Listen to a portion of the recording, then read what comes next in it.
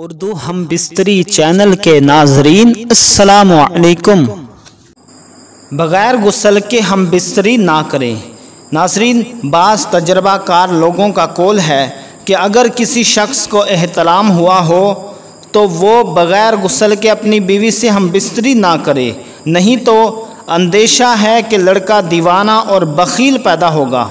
इसी तरह एक बार हम बिस्तरी कर लेने के बाद फिर दोबारा उसी वक्त हम बिस्तरी करने की ख्वाहिश हो तो फ़रीक़ैन बाद गसल दोबारा मसरूफ़ हों, क्योंकि ऐसा करना अफजल है।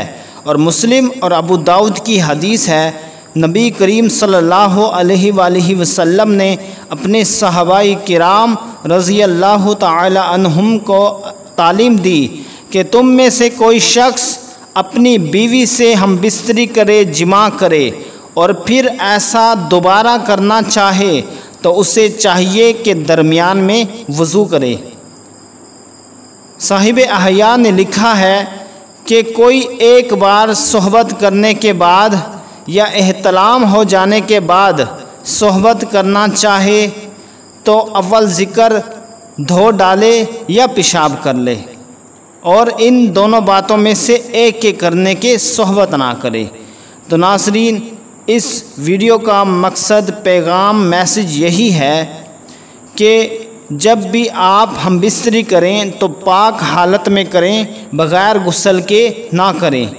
और एक वक्त में आप हदीस की रोशनी में सिर्फ़ तीन बार हम बिस्तरी कर सकते हैं।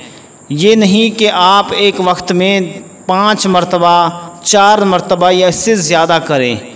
क्योंकि इसका तरीका ये है कि जब आप हम बिस्तरी करते हैं तो उसके कुछ देर के बाद आपको चाहिए कि गुसल कर लें। अगर गुसल नहीं कर सकते तो हदीस के मुताबिक आपको चाहिए कि वज़ू कर लें। फिर उसके बाद अगर आपका दोबारा इरादा हो हम बिस्तरी करने का तो फिर आप हम बिस्तरी कर सकते हैं।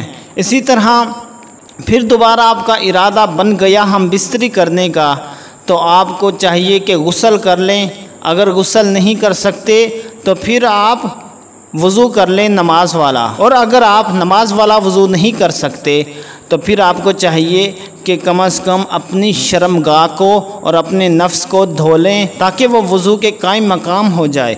और फिर आप तीसरी मरतबा इसी तरह हम बिस्तरी कर सकते हैं।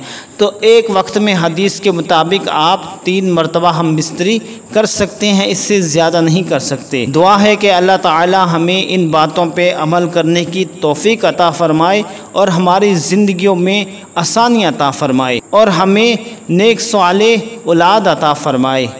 आमीन।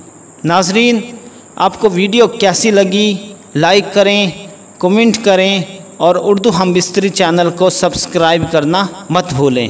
Thanks for watching my video अल्लाह हाफिज़।